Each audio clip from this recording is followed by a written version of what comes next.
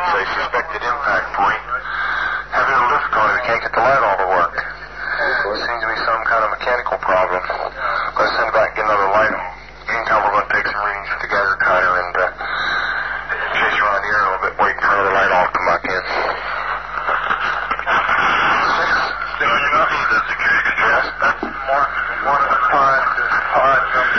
Okay, we're now approaching area within about 25, 30 feet. What kind of readings we getting? Anything?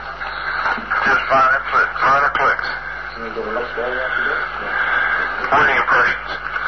One. Is that all the bigger they are? Well, there's one more well defined. security still getting clicks. Clicks. On a key out, security six. Worry. Eastgate. Can we read that on the scale? Yes, sir. We're now on the five tenth scale, and we're reading about uh, third, fourth increment. Comfortably safe here. You don't have a light on? Ready. Security. You have them? There's still minor readings. Second pod indentation. Security, security. This one's dead. Let's go to the third one over here.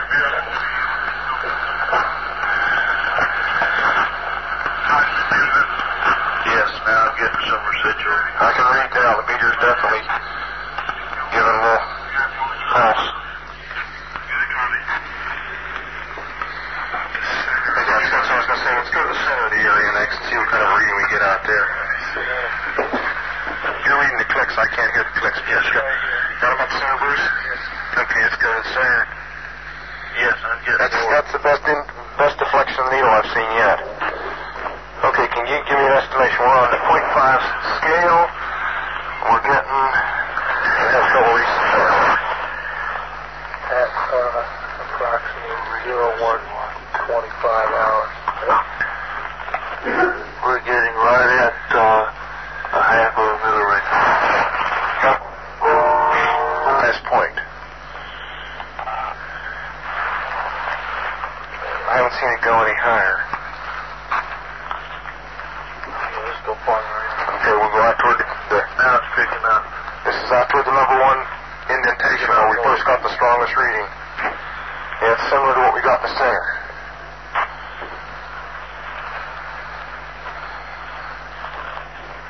Not in a pod. It's mainly in the center. looks like an area here possibly. It could be a blast. It's in the center That's of hard the to tell. You gotta take this my fingers about the freeze. Here's two. Up to what, seven?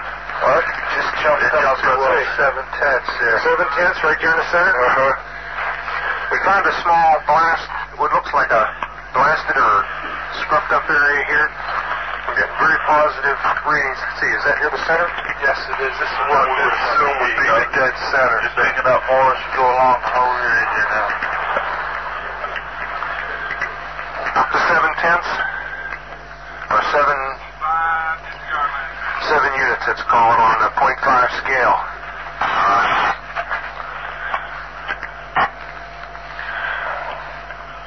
Okay, why don't we do this? Why don't we make a sweep? Got my gloves on now. Let's make a sweep out around the whole area, about 10 foot out, make a perimeter run around it. Starting right back here at the corner. Uh, Back at the same first corner where we came in. Let's go right back here. Don't let depend upon you counting the clicks. Right. Okay, let's start you as they get then I can put the light on it and sweep around it. It would flat.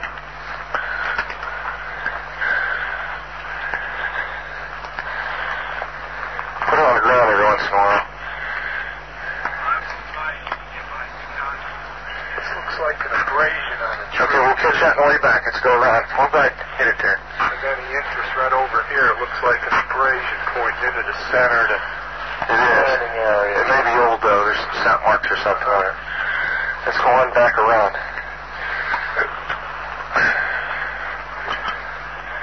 All right. so it gives some extension on there. Yeah, this is an awkward thing to use, isn't it? Oh, you see, I can carry it on my, on my ears, but this one broke.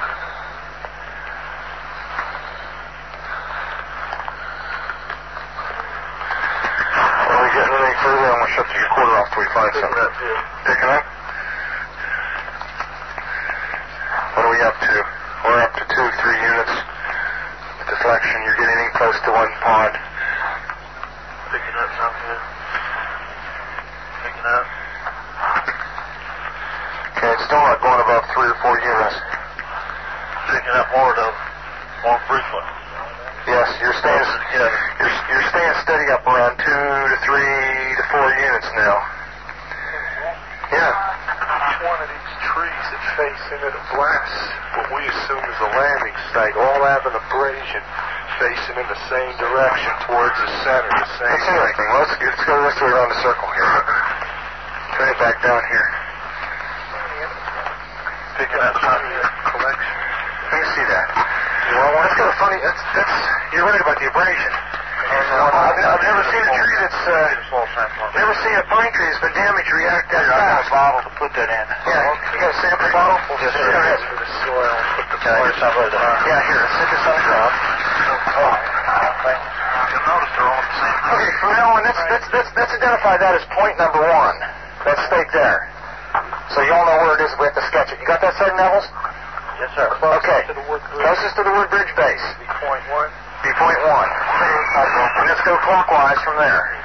Point two. Point two. Go So this tree is between point two. Point zero that two other personnel requesting to randomly use that uh, your location. Tell them negative at this time. We'll tell them when they can come out here. We don't want them out here right now. Okay, the, the sample, you're going to mark this sample number one. Yes. Have them cut it off and include some of that sap and all. Is between indentation two and three on a pine tree about uh, about five feet away, about three and a half feet off the ground. I've got some more. There's a round abrasion on the tree about uh, three and a half, four inches in diameter. It looks like it might be old, but uh, strange as a crystalline pine sap has come out that fast.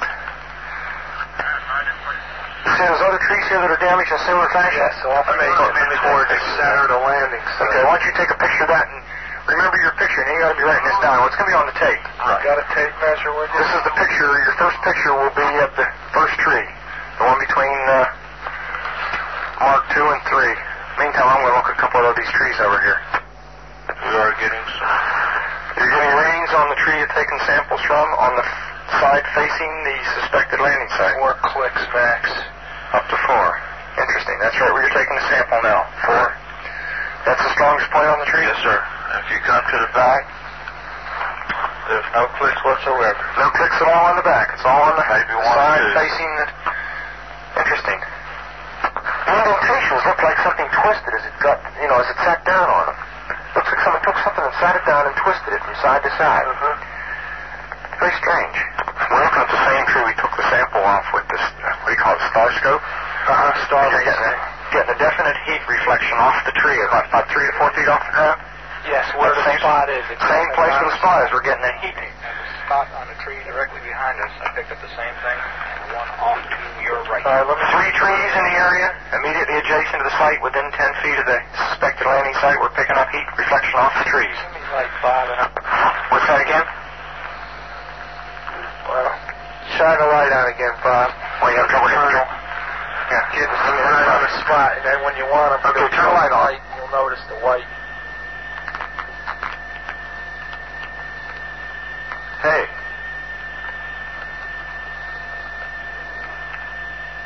You're right. There's a white streak on the tree. Indicates uh.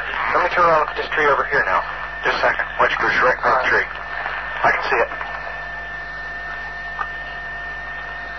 Wait give me a little side lighting so I can find the tree. Okay, off. Oh, I lost the tree.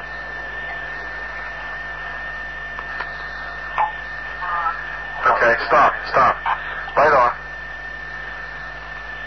Hey, this is eerie. What is the hot spots? This is strange. Here, somebody want to look at the spots in the ground? Whoops, watch your nose. We're walking all over the park here, sir. Okay, let's, let's step back and not walk all over him. Come back here and somebody put a beam on him. But you're going to have to be back 10 or 15 feet. You see it? Okay, fine. Okay, lights off. He took this long to document. What do you think about the spot?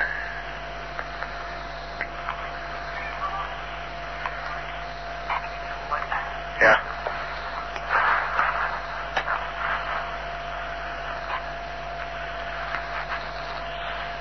Want to see what the first spot? Okay, that's what we call uh, spot number three. Let's go to the back corner and get spot number one. Spot number one. Here's spot number one right here. Spot number one right here. You need some light? There it is right there. Focused? Okay. Look around spot number one through the starlight scope. Take a slight increase in light as I go over it. Slight increase in light at spot number one. Let's go look at spot number two. Spot number two is right over here. Right here. See it? Okay, get focused on it. Tell me when. Okay. Lights on. Let's see what we get on it.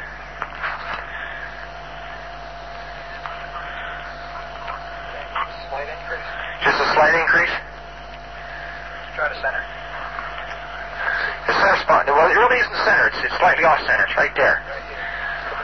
Put more. Okay. I'm going to get your reading on it right there.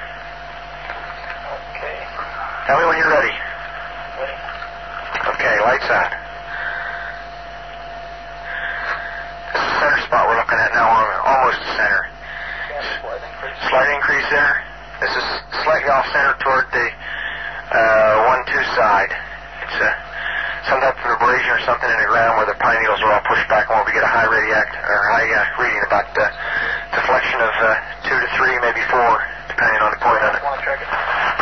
Yes. You said there's a positive after effect? Yes, there is definitely. That's on the center spot. There is an after effect. What does that mean? Means when the lights are turned off, once we are focused in and allow time for the eyes to adjust, we are getting an indication of a heat source coming out of that center spot. As, uh, which will show up on heat or some form of energy. It's hardly heat at this stage of the game. But it is Looking directly overhead, one can see an opening in the trees plus some freshly uh, broken pine branches on the ground underneath. Looks like some of them came off about 15 to 20 feet up. Some small branches about an inch or less in diameter. Zero 148, we're hearing very strange sounds out of the farmer's barnyard animals. It's 28 very, very active, making an awful lot of noise. Present a pigmentation. You just saw a light Yes, where? sir. Wait a minute, Right slow down. Where? Right in this position here, straight ahead, in between the tree. There it is again. Watch. Straight ahead off my flash right there, sir. There it is. Hey, I see it too. What is it? We don't know, sir. So you, can I get some it? Yeah, it's a strange, small red light. Looks to be out maybe a quarter to half mile, maybe further out. I'm going to switch off. The light is gone now. It was approximately 120 degrees from the site. again. Is it back again? Yes, sir. Oh, that's the flashlight set. Let's move out to the edge of the clearing so we can get a better look at it. See if you can get the star scope on it. The light's still there, and all the barnyard animals have gotten quiet now.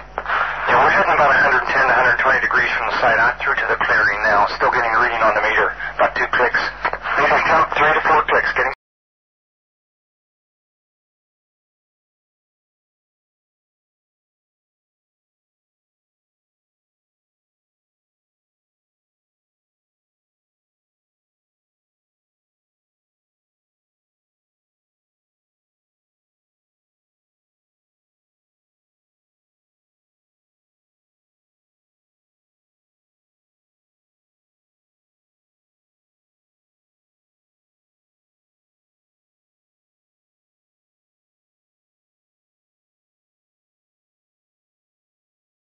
There is no doubt about it. There's some type of strange flashing red light ahead. It's yellow. I saw a yellow tinge in it too. Weird. It, it, it appears may be moving a little bit this way. Yes, it's brighter than it has been. Yellow. It's coming this way. Also, It is definitely coming this way. Pieces of it are shooting off. Yeah, that's 11 There is no doubt about it. This is weird. To the left. Yeah, definitely moving left. two, two lights. Two one light to the front, Okay. one light to the left. Keep the flashlights off. There's something very, very strange. Get the headset on. See if it gets any stronger. Okay. Let, give us, give us a rundown. Notation that this is on a beta reading, too. It's on beta reading? Beta Okay. still has been removed. Okay. man. But it just moved to the right. Yeah. Off to the right. Strange. Oh, well, why do left? Let's, let's approach to the edge of the woods up there. Can you undo without lights? Let's do it carefully. Come on. Okay, we're looking at the probably about two to three hundred yards away. It looks like an eye winking at you. It's still moving from side to side. And when you put the star scope on it, it, it sort, sort of has a hollow center, a dark, center. It's, it's you know, like the pupil of an eye looking at you and winking. And the flash is so bright to the star scope that uh, it almost burns your eye. We passed the, passed the farmer's house and across into the next field. Now we have multiple sightings of up to five lights with a similar shape and all, but seem to be steady now rather than a pulsating or glow with a red flash. We just crossed the, the creek, and uh, we're getting what kind of readings now? Getting th- three good clicks on the meter, and we're seeing strange lights in the sky. At 244, we're at the far side of the farmer's, the second farmer's field, and made sighting again about 110 degrees. This looks like it's clear out to the coast. It's right on the horizon. Moves about a bit and flashes from time to time. Still steady or red in color. Also, after negative readings in the the field, we're picking up uh, slight readings, uh, four or five clicks now on the meter. 305, we see strange uh, strobe-like flashes to the uh, rather sporadic, but there's definitely something, uh, some kind of phenomenon. 305 at about uh, 10 degrees horizon uh, directly north. We've got two strange objects, uh, half moon shape, dancing about with colored lights on them. About uh, guess to be about five to ten miles out, maybe less. The half moons now turned into full circles. As though there was an eclipse or something there for a minute or two. Fifteen. Now we've got an object about ten degrees directly south, ten degrees off the horizon. And the ones in the north are moving, one's moving away from us. Moving out fast. This one on the right's heading away, too. Yeah, we're both heading north. Oh, hey, here, here he comes from the south. He's coming toward us now. Now we're observing what appears to be a beam coming down to the ground. This is unreal. 330 or 0330, and the objects are still in the sky, although the one to the south looks like it's losing a little bit of altitude. We're turning around and heading back toward the, the base. The object, to the, the object to the south is still beaming down lights to the ground. Zero four one object still hovering over Woodbridge Base at about five to ten degrees off the horizon, still moving erratic and similar lights and beaming down this area.